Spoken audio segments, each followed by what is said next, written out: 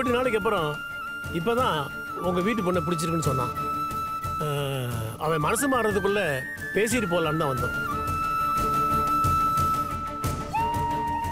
என்னடா பொண்ணு ஹாஸ்பிட்டல்ல இருக்கிற நேரம் இப்ப வந்து இதை பேசுறோம்னு தப்பா எடுத்துக்காதீங்க. திடீர்னு கல்யாணம் எல்லாம் பேசுறீங்களே. எங்களுக்கு ஒன்றும் புரியலங்க. இல்ல விஜய் எங்ககிட்ட இப்பதான் சொன்னா ஹம், எங்களுக்கே ஆச்சரியமா போச்சு. எப்படா இப்படி நடந்ததுன்னு? இல்லம்மா திடீர்னு கல்யாணம் எல்லாம் பேசினா எனக்கு என்ன பண்றதுன்னே தெரியல. சும்மா பேசதான் வந்திருக்கோமா நாளைக்கே கல்யாணம் பண்ணணும்னு அவசியம் இல்ல. இப்பவே பேசி வச்சுப்போம். ஒரு மாசம் கழிச்சு கூட நம்ம கல்யாணத்தை வச்சுக்கலாம். திடீர்னு கல்யாணம் பேசுற நிலைமையில நாங்க இல்லங்க. அதாம்மா நாங்க இப்போ காவேரி கல்யாணத்தை பத்தி எல்லாம் யோசிக்கவே இல்ல. மூத்த பொண்ணுக்கு கல்யாணம் பண்ணி வச்சிட்டீங்க. அடுத்து ரெண்டாவது பொண்ணுக்கு தானே பார்க்க போறீங்க? எல்லாம் சரிதாங்க. ஆனா உடனே நாங்க யோசிக்கலையே. ஆமாங்க. இவ நிச்சயம் அன்னைக்கு தான் இவங்க அப்பா தவறுனாரு.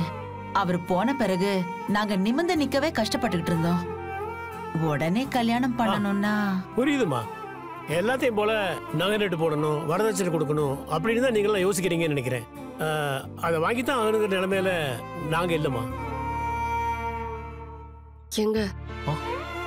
ஏதாவது பேசுங்க. என்ன பேசுது கங்கா? முடியாதுன்னு சொல்லுங்க. முடியாதுங்க.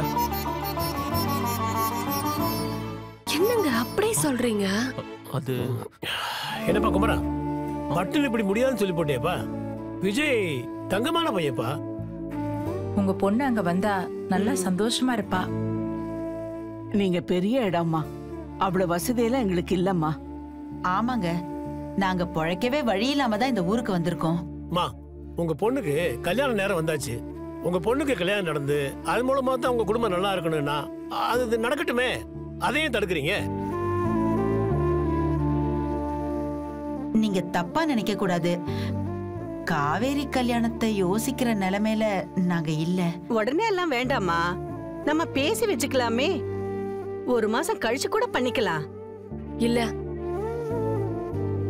என் தங்கச்சிய கல்யாணம் பண்ணிக்க கேட்டு வந்திருக்கீங்க. ரொம்ப சந்தோஷமா இருக்கு.